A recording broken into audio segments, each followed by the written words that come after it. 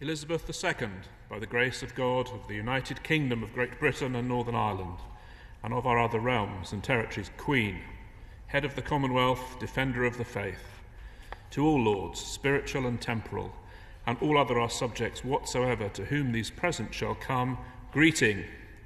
Know ye that we, of our especial grace, certain knowledge, and mere motion, in pursuance of the Life Peerages Act 1958, and of all other powers in that behalf us enabling, do, by these presents, advance, create, and prefer our trusty and well beloved Andrew Michael Gordon Sharpe, officer of our most excellent order of the British Empire,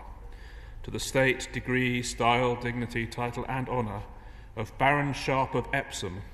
of Epsom in our county of Surrey. And for us, our heirs and successors, do appoint, give, and grant unto him the said name, state, degree, style, dignity, title, and honour of Baron Sharpe of Epsom, to have and to hold unto him for his life. Willing and by these presents granting for us, our heirs and successors,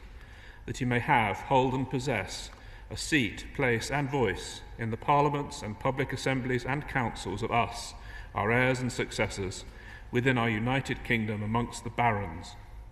and also that he may enjoy and use all the rights, privileges, preeminences, immunities, and advantages to the degree of a baron duly and of right belonging, which barons of our united kingdom have heretofore used and enjoyed, or as they do at present use and enjoy. In witness whereof, we have caused these, our letters, to be made patent. Witness ourself at Westminster in the afternoon of the 15th day of September in the 69th year of our reign, by warrant under the Queen's sign manual.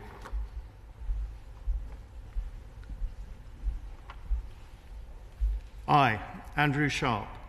Lord Sharpe of Epsom, do swear by Almighty God that I will be faithful and bear true allegiance to Her Majesty Queen Elizabeth, her heirs and successors, according to law. So help me God.